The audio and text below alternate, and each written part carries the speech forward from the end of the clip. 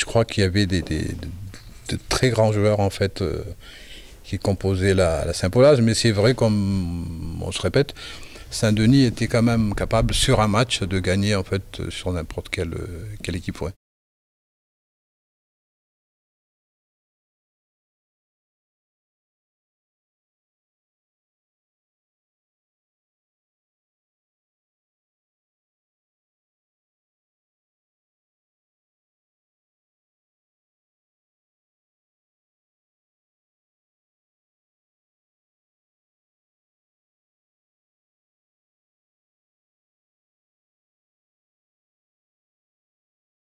Ça me rappelle vraiment le, le- enfin, la solidarité, le, le- le- enfin l'amour de défendre ensemble quelque chose, quoi, je veux dire.